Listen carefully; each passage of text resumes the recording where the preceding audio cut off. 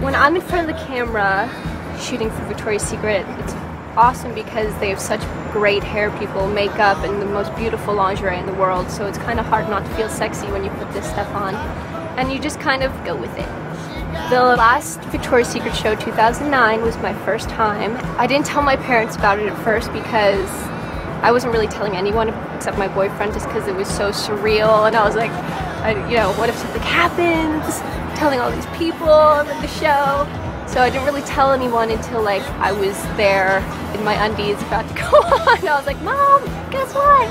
I'm on the show, you better watch it. And she immediately Facebooked everyone she knows. My daughter's in the Victoria's Secret show, you have to watch. When my boyfriend found out I got the Victoria's Secret show, the first thing he said was, Can I come? I said, Of course, you're invited, don't worry. My girlfriend's actually in the show. Lily. I honestly had the time of my life.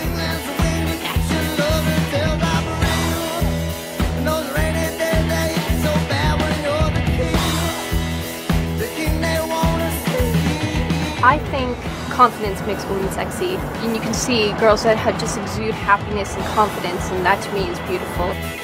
What makes me sexy? I don't know, I would say hopefully my personality. hopefully people see me as a nice person or, you know, more than all this. You know, hopefully the inner sexiness is, is out there. You ain't got the same, but you got the best